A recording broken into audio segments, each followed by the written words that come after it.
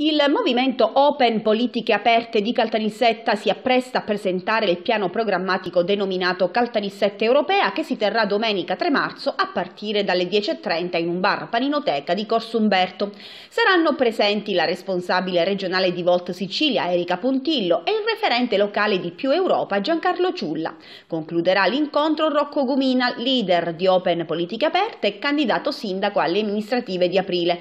Open Politiche Aperte è un movimento nato lo scorso 8 dicembre per contribuire, si legge nella nota, alla costruzione di una società migliore. La nostra visione di Caltanissetta europea, si legge ancora, punta a recuperare quanto di buono è stato fatto e a intervenire su ciò che sinora non è stato all'altezza dello standard europeo.